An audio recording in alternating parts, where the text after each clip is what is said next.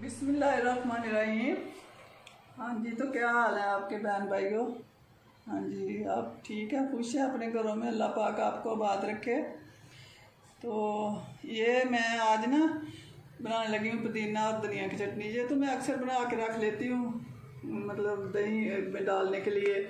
और ये वैसे रोटी के साथ अच्छी लगती है। तो आज मैंने कहा, चलो बना रही हूँ तो आपको भी इसकी थोड़ा दिखा दें वीडियो। तो ये पुदीना और धनिया, ये तोड़ा हुआ है। टानियों से मतलब पत्ते लैदा किए हैं। और ये एक मिर्च है, ये बड़ी मिर्च थी, ये काफ़ी है। और एक प्याज है बड़ा, और दो टमाटर बड़े। तो इसमें काली मिर्च जाएगी और नमक डालना है। तो ये बड़ी अच्छी चटपटी चटनी बन जाती है। ये मैं बनाने लगी हूँ, ये प्याज डालने लगी हूँ पहले। इनको थोड़ा ब्रीक कर लेते हैं।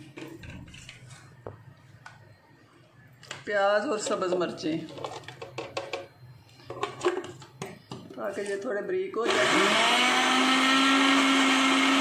प्याज बारीक हो गए अब इसमें टमाटर डालती हूँ। ये दो बड़े टमाटर मैंने काटे हैं।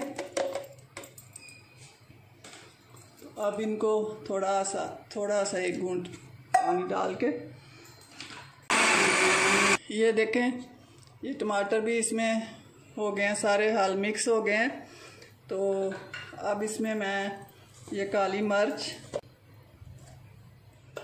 तकरीबन एक चम्मच, ये एक चम्मच ही इसमें नमक जाएगा। तो वो ये अब इसमें पुदीना और धनिया डालने लगी हूँ।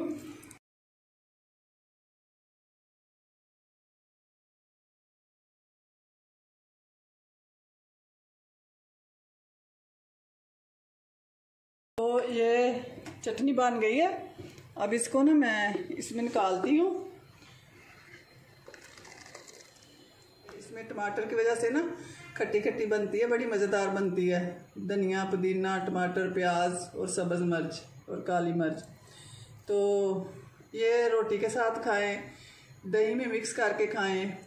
तो पुदीना तो आपको पता ही है कि बहुत अच्छा होता है, मैदे के लिए भी। मैं तो बना के रख लेती हूँ और हफ़्ता का निकल जाता है तो फिर दोबारा बना लेते हैं। इसको फ्रिज में ऐसे इसी ढक्कन वाले डिब्बे में डाल के ऊपर से ऐसे ढक के रख दें। तो ख़राब नहीं होती। तो ये इजीली इस्तेमाल हो जाती है।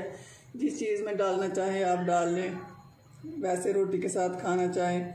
ऐसे मैं तो खाती हूँ रोटी के साथ, सालन लगा, सालन के साथ और रोटी के साथ लगा के ना, बड़ी मज़े की लगती है।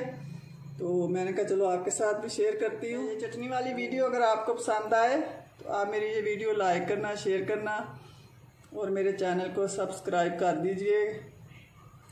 ये घर में बना के खाएँ। बहुत आपको, मुझे उम्मीद है कि आपको पसंद आएगी। बहुत मज़े की बनती है। तो फिर मिलेंगे किसी नई वीडियो में। तब तक के लिए इजाज़त दें। अल्लाह हाफिज़।